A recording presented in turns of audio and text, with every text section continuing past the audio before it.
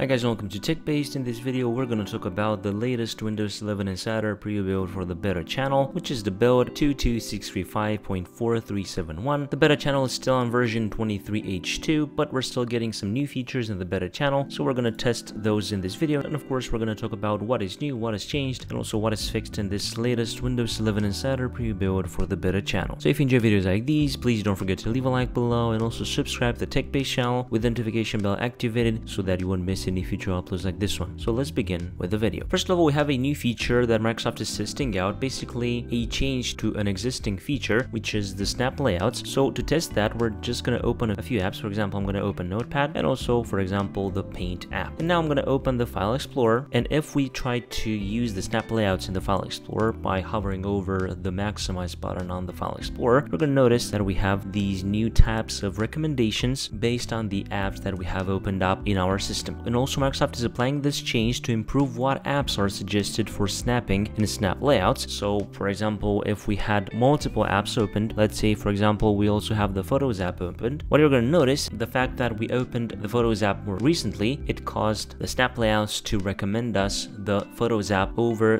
the Paint app, which was opened still after the Notepad app. I think this is still a bit random, but I think it prioritizes the apps that it opened more recently. This is also a, a feature that is by Microsoft, so if you're interested in enabling it manually, if you don't have it on the beta channel, check the article in the description below because they're gonna have the command that you can use to enable this one that was discovered by Phantom of Earth on Twitter. Related to the narrator, Microsoft added a new shortcut narrator key plus control plus X to copy what narrator last spoke to clipboard. It follows the pattern of using narrator key plus X, which repeats the last spoken phrase out loud and is a good way to memorize similar shortcuts. You can use these shortcuts to review and copy what narrator spoke, useful in cases where you want to quickly copy some content or descriptions or codes numbers for use. And also narrator will now auto-read contents of a mail in the new Outlook app, similar to behavior in Outlook Classic. In this beta channel build, we're also getting the new snipping tool app update, which basically allows you to copy contents as table. So I think that is also pretty useful for some people. You're going to be able to easily copy a structured table data into an email, document, or spreadsheet. Talking about fixes now related to the File Explorer, Microsoft did some work on the search box in File Explorer, so it shouldn't draw off the end of a window anymore. And we also have three different fixes for the Narrator app. Microsoft addressed a performance issue where Narrator would slow down after 15 minutes of continuous use with a single application. Fixed an issue where Narrator would add an additional announcement, contain style whenever its focus is set on a text that has styling attributes such as bullet, numbers across applications such as Microsoft Edge, Teams, and Outlook. And also fixed an issue where a few dialogues in the Narrator were not adopting the 200% text scaling setting in Windows. So basically, this is all there is to it to the latest beta channel build. We have smaller builds in this week for the Insider program, but it's no problem. At least we get some builds.